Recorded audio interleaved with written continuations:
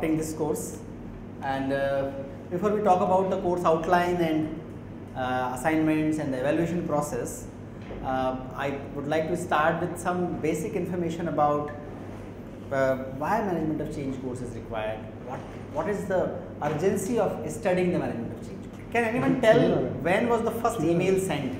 Any wild guesses? 80s, 90s, 95, 70s. So in 71, first email was sent in NASA and Pentagon, and uh, that is the formal emergence of the internet revolution, that revolutionary technology called internet.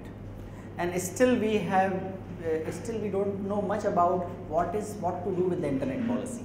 Still governments are clueless how to deal with the internet content, how to deal with the businesses, how to tax them based on internet and all that. So still we don't have very clear idea what to do with the business models based on the uh, internet. Now compare the internet policy and compare the internet technology, so many other technologies which are of equally disruptive nature coming up and going to come in the near future. And this is the not exhaustive list. We can look at machine learning, blockchain technology, big data analytics, small data analytics, internet of things, wearable technology, artificial intelligence, robotics, additive manufacturing technology, virtual reality, cloud based technology, quantum computing and all these technology can have a disruptive impact on businesses and organizations. So you can imagine one internet technology which has so much disruption comparing to all these many technologies coming up and what they are going to have the impact upon businesses, governance, people communicate, education, so on and so forth. So this is the backdrop in which we are going to discuss about management of change course. There are few disclaimers about the course. It is not about how to adjust and cope with the change process. The, the very basic of this course is that what we are going to discuss is not to make you cope up with change. It is aimed at preparing you mentally to lead the change process. And another thing is that learning is our joint responsibility. So there will be a lot of exercises. If you think along with the instructor, then there is a possibility of learning. There is otherwise whatever we are going to create, whatever we are going to discuss has a zero value until and unless you combine, you bring yourself in the form of some number in front of those zeros, then only there will be any value created in this course. Why management of change course is required? If we look at and if you are going to enter the job market now, and if you look at how a job market will look like, how will be the nature of organization in 2040, we have very less idea about. There's, there can be changes which we cannot even imagine. For example, how the job market will look like in 2040. Either billions of people will be redundant or long run automation will keep generating new jobs and greater prosperity to all of us. So, what is going to happen we can't definitively say. Uh, a drone doesn't require any crew, no manpower is required to actually operate it being on the plane, but at the same time to run a full fledged commercial drone you need a big team. So, job vanish at one level are created at another level. What is going to happen we do not know but what are the factors going to impact the business organizations and our society are nonetheless these. There is increasing globalization and even if there are voices against the globalization and localization, globalization is going to remain a force and it is going to come up in a very very different different ways. For example, there might be focus on the local production but the distribution can happen globally. Likewise, globalization is going to remain the factor. Technological changes, we just talked about so many disruptive technologies which have emerged and emerging in the last few years going to have a disruptive impact on the business models, organizations and societal functioning. Aging population and diversity, the psychographic profile and the age profile we see at workplaces in India is not going to, the, to be the same. It is going to be very, very different. There are many countries which are struggling with the changing uh, demographical profile in their workforce and they are trying to find different ways of dealing with that. For example, aging population is a very, very important challenge, a massive challenge for the Japanese economy. Whereas uh, people not going uh, negative population growth is a concern for many Scandinavian countries. So, aging and population and diversity are going to remain challenges uh, in the work at the workplaces. Environment and social factors, they are going to, they are shifting towards the central concerns of the business. The next session, we are going to discuss in more detail about how the sustainability and environmental concerns are actually resulting in altogether new business models and ways of doing businesses. So, these are the four very important unavoidable challenges, inevitable challenges going to redefine the workplace and organization in years to come. If we look at how the change process has happened in the last 200 years, in the first part of the industrialization process, we see machines were first competing with the physical ability of our uh, of human beings. But now they are not competing on the physical abilities, but they are shifting, they are replacing the cognitive capability of the human beings. Can you think about some jobs which are difficult to be replaced by the machines? Can you think about some jobs which are difficult at this moment? You can, we can't uh, very easily imagine that they can be replaced by the machines. Design of the machines, okay. Surgery, mm -hmm. psychology. psychology, counseling. What else? Legal advice. Medical advice. Medical advice. It can be done by machine. It is so there are a lot of things like counseling, legal advice, medical advice. We think that cannot be done by machines are now being taken over by machines. So driverless cars, till very recently we thought that driving is a very human skill. But now we know that it can be replaced by machines to a great extent. A lot of successful experiments have taken place. Legal advice is something which we think is difficult to be replaced by machines, but the IBM systems Watson is found to be effective enough for the legal advice on large number of situations. Medical advice again there are studies which have proved which have demonstrated that on certain type of medical cases and medical problems machines are accurate in more than 95 percent cases whereas human beings the skilled professionally qualified doctors are right in about 80 percent or 75 percent cases. So, what we are seeing is what we have realized that what we thought the jobs which require intuition are actually not the intuition or sixth sense, but these are getting insights and based on the pattern recognition. So, key insight leading to these of all these machines are that human intuition in reality is a pattern recognition. If we have enough data feeding being feeded into the system, system is intelligent enough now to get the insights and draw the conclusions and those conclusions and decisions can be as accurate or probably more accurate than human experts we currently have. So, Infotech and Biotech together are redefining almost all aspects of the change process, all aspect of life. This is, there are, this is example of old news and very old news. Old news is in 1996, machine defeated the world champion in the chess. Who, whose this picture is? Garry Kasparov. Yeah. So, Blue Deep this is the name of the machine which defeated Kasparov and uh, Kasparov had a cult like status in uh, USSR and then Russia, people felt a huge disappointment that machine is able to defeat Garry Kasparov. But this is very very old. the old news is that uh, the machines, the competition and championships started amongst the machines.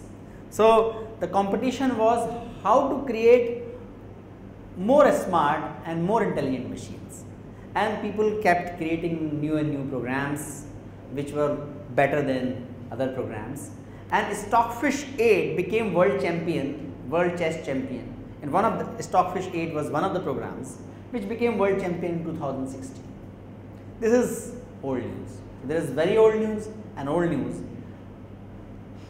The new the news is that Google AlphaZero program defeated the Stockfish.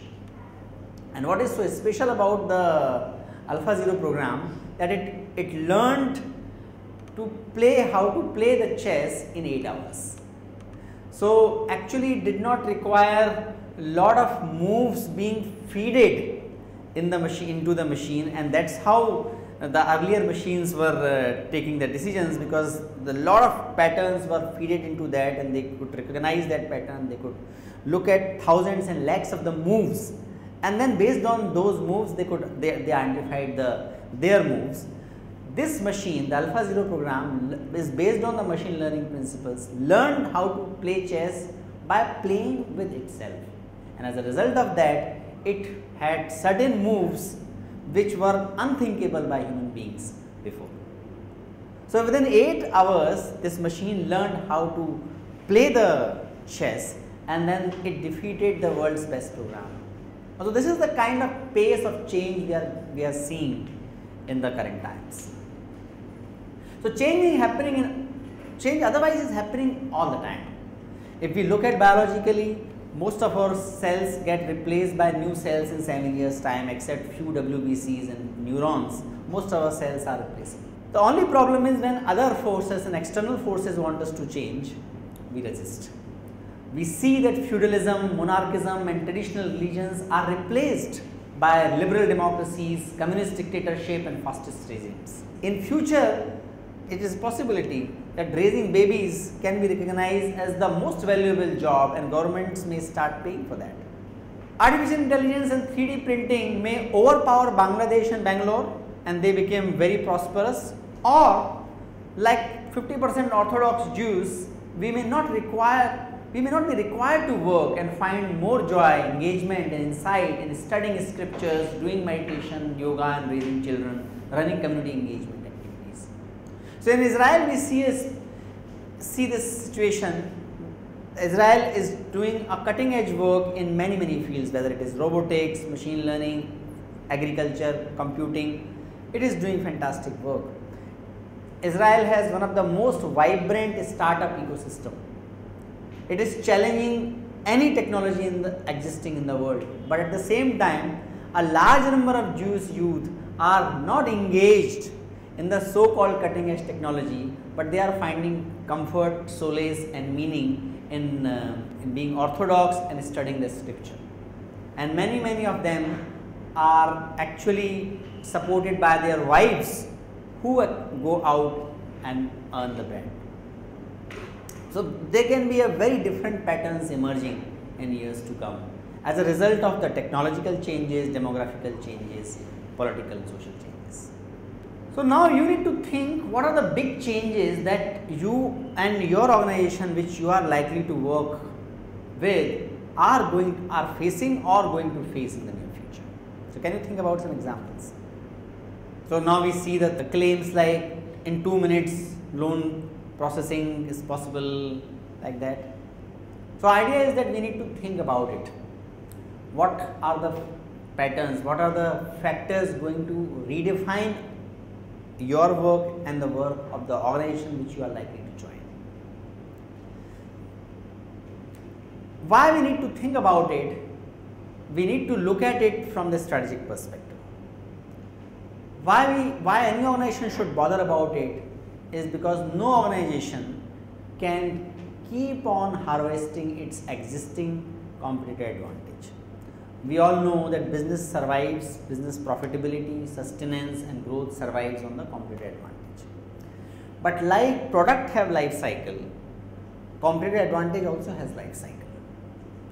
So, we need to know and how we can go systematically about it that is what we are going to look at uh, in this session. If there are so many changes at the technological, demographical and social level, how we think about the business systematically and is there are there some heuristic available. So, one of the heuristics available is the uh, change in the competitive advantage. So, like product competitive advantage also goes through the different stages.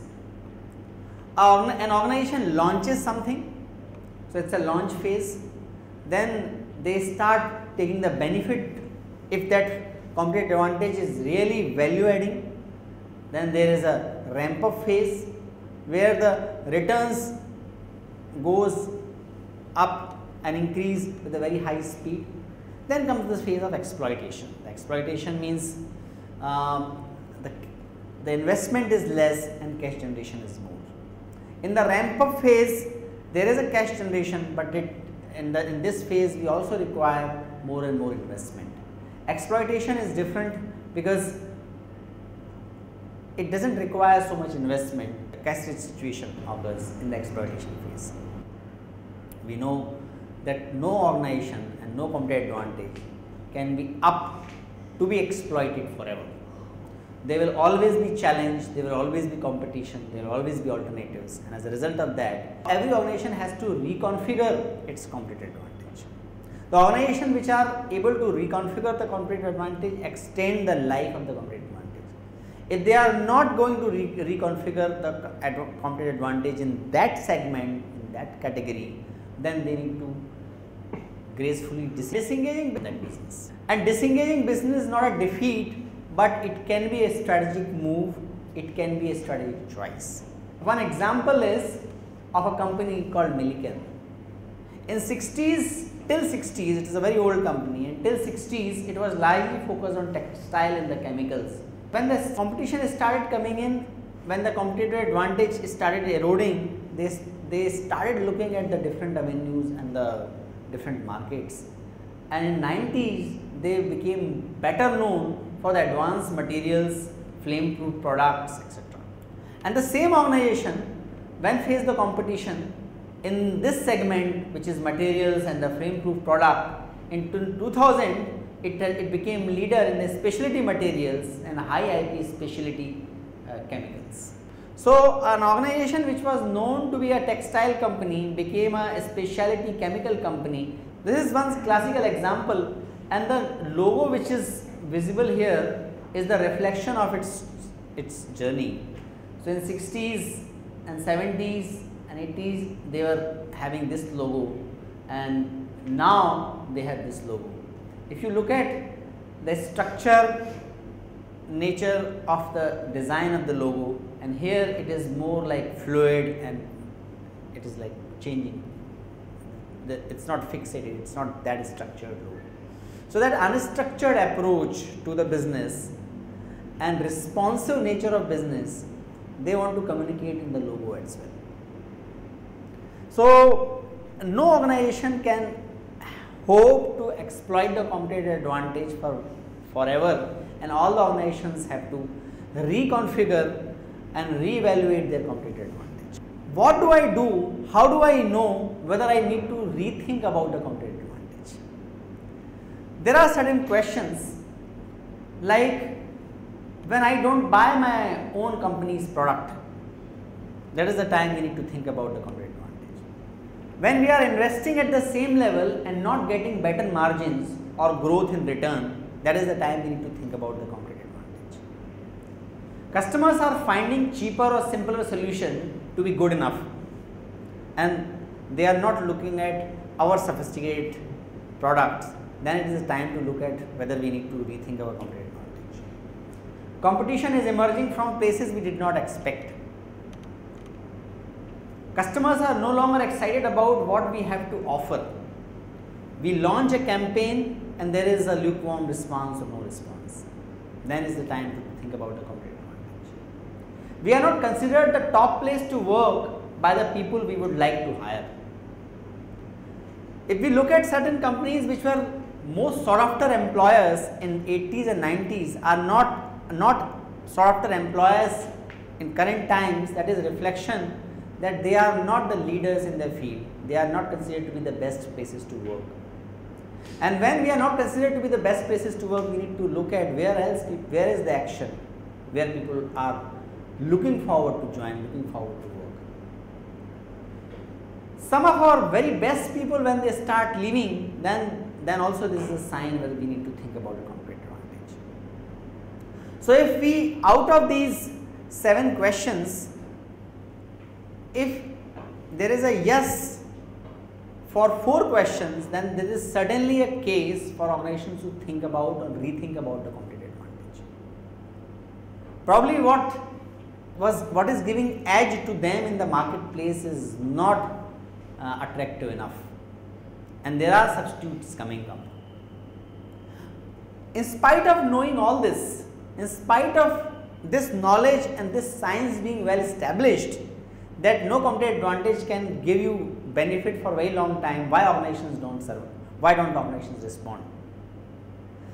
Ultimately, they are the very smart people working in the business organizations where which are managed by some of the most qualified minds, some of the best minds, why they miss out on some of the weak signals to change their way of looking. Many times they not only ignore weak signals, but they ignore the strong signals as well to rethink about their business and business approach. What might be the reason? They all are smart people coming out from IITs and IIMs. It requires a reallocation of the resource. And when organizations are functioning they function in a certain way which sets some kind of inertia and then there is a commitment for certain projects and, and getting out of that project has a sunk cost effect. To avoid that people do not give attention to the new or emerging field. What else? Is this the only reason? Is economic reason the only reason? Yeah, so inertia other, other than economics, where else the inertia might be? In people. Why? Because if I am working with an organization and uh, if I am not able to see the change is required, then it is eventually going to affect me as well. But still people do not want to give sufficient attention to these things because of several factors and as a result of that there are certain traps which they get victim of and first of this trap is first mover trap if i am a leader in the marketplace if i started this business i tend to believe that i know the business the best and because of that if there are some competition for a large extent of time i have a tendency to ignore that. that is called first mover advantage. Then there is superiority trap. If I am a player in the market for a very long time, naturally I am providing a better finished product. Whenever substitute comes, they are not very sophisticated and very well packaged.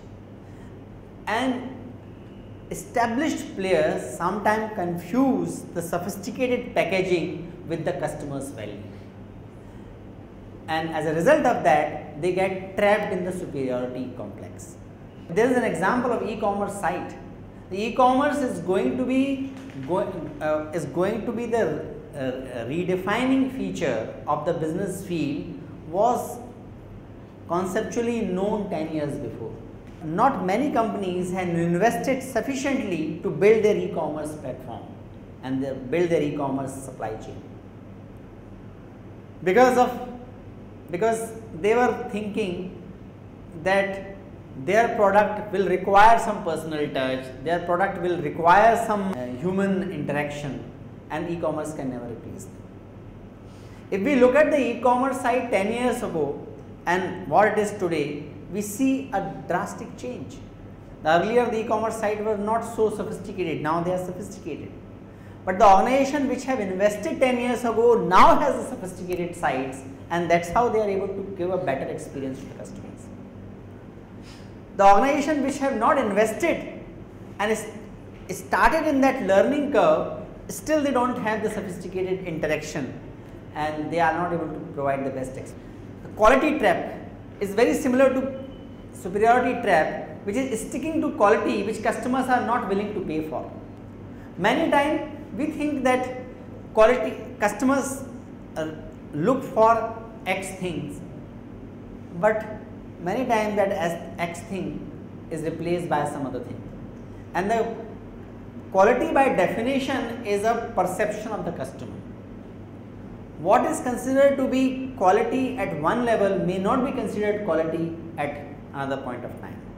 For example, in the fashion industry, in the cosmetic industry, packaging was considered to be a very important factor in terms of the quality. But in last few years, natural ingredients became the major defining feature and the packaging has not remained the very uh, the most important quality feature. But if a player keeps investing on the packaging without looking at the changing uh, taste of the customers is will be said to be trapped in the in that quality paradigm and quality being defined not by customers but by the marketeers. Fiefdom, my market, my space are the syndrome which many managers suffer from. It is a choice between mark, mass market phone or a product like iPad. There is an example of Nokia. In 2004, in Nokia, some smart engineers came up with a product which was very similar to iPad. Not only the product was very similar to iPad, they developed some uh, rudimentary apps as well. But this product was not given sufficient attention and investment because it was a new thing and they could not uh, they could not convince the management to consider about uh, to make investment and uh, to take this uh, innovation more seriously. Now we know where the Apple is and where the Nokia. In the organizations, how many number of people I control and how many product, what is the size of my product and market, they, that has become a sign of the power and their influence and importance. People want to, uh, to keep their team large. Secondly, changing their managerial position from leading a large team, an established product to a smaller team and a new product is not considered very smart move because it has a, a risk involved in it and not all the new product lines are successful. So, when my success is defined based on and when the in organization the success is defined based on the number of people you are managing and the the amount, the monetary value of the portfolio or the product you are managing, then naturally the uh, uh, the best talent may not go for the new product and new, uh, new businesses and new market. Organizations are subject to structure and processes. Structure and processes help organizations to uh, to carry out their functions and the structure and processes become very rigid with time and as a result of that even if it is known to people that we need to bring about change organizations at times are clueless who can take that responsibility of innovation. Everybody has a set job role. Everybody has a job description. Everybody is working for their KRA everybody is working for their half yearly and yearly goal. In this kind of climate who has time to innovate? If it is not in my KRA, why should I invest time, energy and my team's time and energy for the innovation? And that becomes a major obstacle in, the, in bringing about change process. And last but not the least, empires to protect. If I am leading a big project, if I am leading a big market, if I am uh, if my product size is huge this is I even if I see that the the, the product or this service or this line of business may not have a very very bright future, I tend to prolong somehow and continue to lead that instead of creating a panic or pressing urgency alarm and going for the innovation with the full force and full insights. So, these are some of the misconceptions which prevent any organization to go for innovative products, innovative business lines and innovative ways of doing business. So, what we are talking about the competitive advantage is not fixed in nature and what organizations have to operate on is the transient advantage. So, we are actually operating on the transient advantage economy. There is no fixed competitive advantage and there are systematic ways to look at whether my organization is ready to operate on the transient advantage economy or not. So, if I am focused on extending my existing advantage or I am capable of coping with the transient advantage, there are ways to look at it. For example, budgets, people and other resources are largely controlled by heads of the established businesses. If it is too much, if, if there is a very tight control by the established businesses on the budget, people and other resources, then probably I am focusing more on extending my existing advantage. But if the critical resources are controlled by a separate group that does not run businesses and then which can have an overview of the business then probably I am more capable of coping with the transient advantage. So, some organizations which are able to harness the capability of transient advantage are the ones which have strategic thinking groups as well. And strategic thinking groups are not directly responsible to one business. So, in the strategic business group there might be experts in the HR, finance, marketing etc. But they look at not one business but they look at the portfolio of the businesses and based on their observation and readings and understanding about the market they critique the nature of the portfolio and also identify the new business opportunities. I have seen it happening in the Yes Bank. So, Yes Bank is one of the new banks which has not only harnessed the conventional ways of banking, but they have connected the social and natural development as well with the banking goals. And uh, this kind of linkages is not possible without an independent group observing the marketplace and actively scouting for business opportunities which at the same time address the business and sustainability goals as well. Another example is we do not have the process for disengaging from the business if business house does not have any idea how to disengage with the business. Whereas another business house which has a systematic way of exiting business.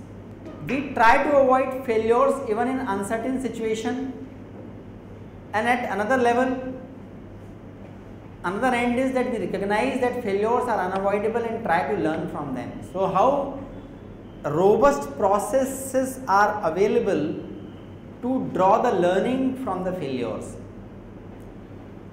and there are some organizations which have which have worked not only the business opportunity but the learning and knowledge management as well. So, for many years Tata Group companies were giving awards for the successful innovations and in few years they have started awarding the most promising failure as well. And in the same ceremony the most promising failure is also awarded. It is just to convey that it is not necessary always to be successful in the innovation. And there might be failures in the innovative projects which were really unthinkable, but the, but the, the process involved in approaching the innovation process was, if it was robust, then it is worth appreciating. So, likewise there are series of questions. Innovation is an on again off again process versus innovation as an ongoing systematic core process that is the sign of a of organization which is capable of coping with the transient advantage. It is difficult for us to pull resources from a successful business to fund more uncertain opportunities, whereas in some other organization it's quite normal for us to pull resources from a successful business to fund more uncertain opportunities.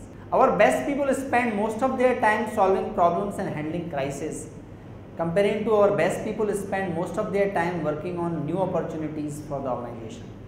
Likewise, there are a series of questions and any organization can look at these questions and position themselves to what extent they are ready and capable of coping with the transient, transient.